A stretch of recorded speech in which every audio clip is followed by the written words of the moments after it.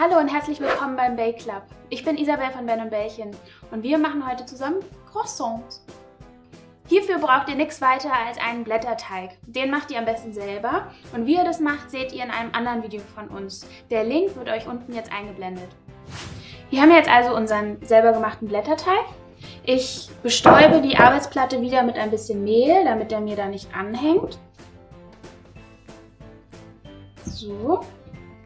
Obendrauf auch ein bisschen und auch das Nudelholz wird ordentlich mit Mehl bestäubt.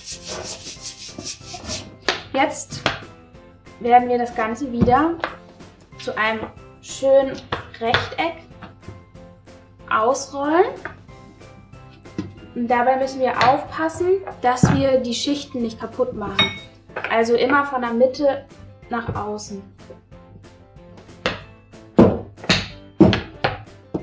Ganze muss jetzt dünn ausgerollt werden. Also sollte nicht, nicht höher als 5 mm sein.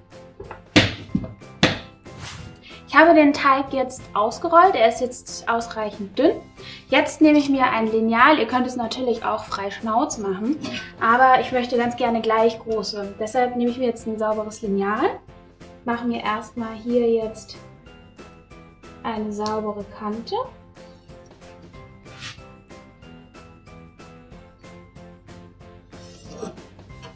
So.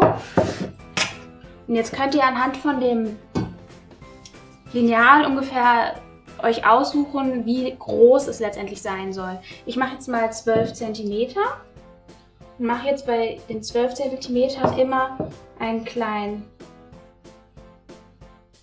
Shit. Ich mache hier vorne nochmal nicht. So.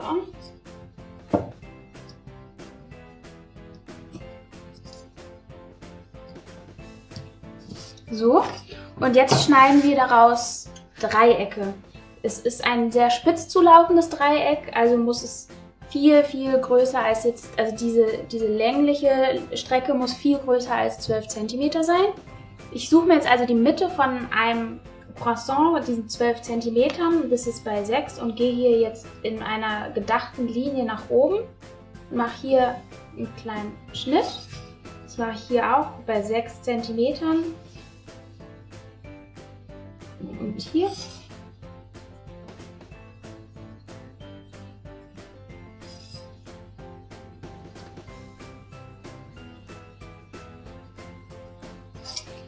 So.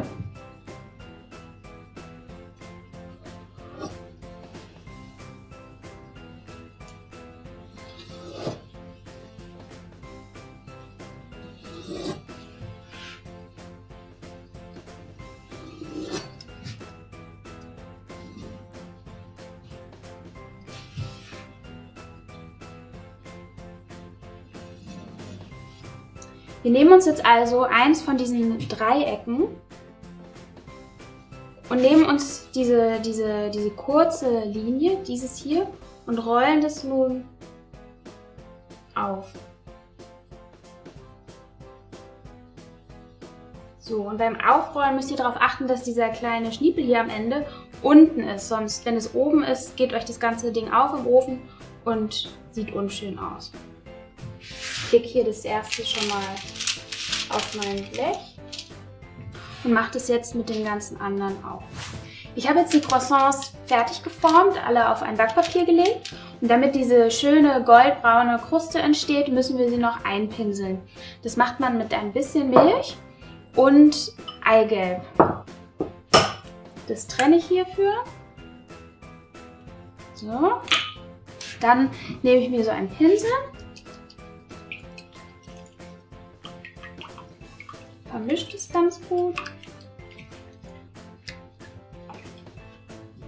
Und wir pinseln nun meine Croissants.